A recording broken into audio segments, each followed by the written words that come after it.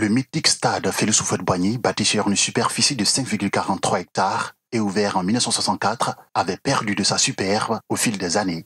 Mais, après trois ans de rénovation, il se pare de nouveaux habits d'apparat et resplendit au sein de la commune chic du plateau.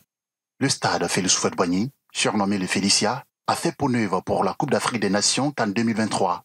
L'enceinte sportive, située dans la commune du plateau, a été entièrement rénovée et sa capacité d'accueil portée de 35 000 à 40 000 places assises. Les travaux de rénovation ont coûté plus de 65 milliards de francs CFA. Les travaux ont notamment porté sur la réfection de la pelouse, des tribunes, des vestiaires et des installations électriques.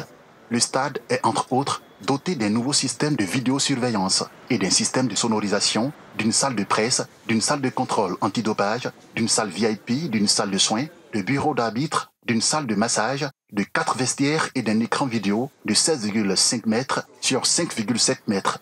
Lors de sa rénovation, l'accent a été mis sur la couverture complète en métallotextile pour l'ensemble des gradins, la réhabilitation des locaux et bien d'autres activités.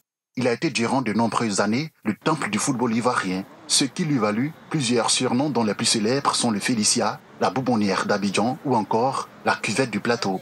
Autrefois stade Géo André, de 1952 à 1979, il est devenu le stade Félix Houphouët-Boigny du nom du premier président père fondateur de la Côte d'Ivoire moderne en 1980.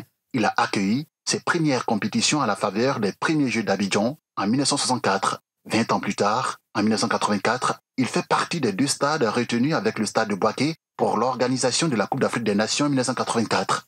Dans quelques jours, le Félicia recevra l'Afrique 40 ans après avoir abrité la finale de la Coupe d'Afrique des Nations en 1984. Étouffé entre les tours d'Abidjan, le mythique stade Félix Houphouët-Boigny sera dans quelques jours un lieu d'attraction pour les amoureux du football.